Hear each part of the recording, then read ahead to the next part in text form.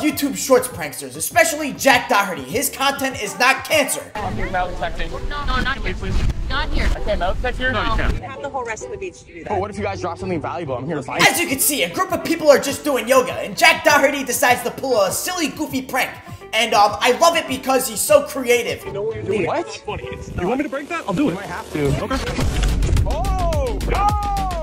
That guy's ass crack was showing, but um, Jack, this is what happens when you mess with people that don't want to be messed with, buddy. Um, your actions have consequences. Metal detector! Man on video. And you're just gonna go right back to the yoga poses? Dude. So you didn't do this? And he's a magician. He makes his crime go away. I better get it. Imagine trying to get a group of people this mad at you just so you can post a YouTube short. Um, Jack Doherty, you are my role model. Please let me suck you off, dog. I better get a free yoga class for this. From the ocean? Or? Yeah, do it.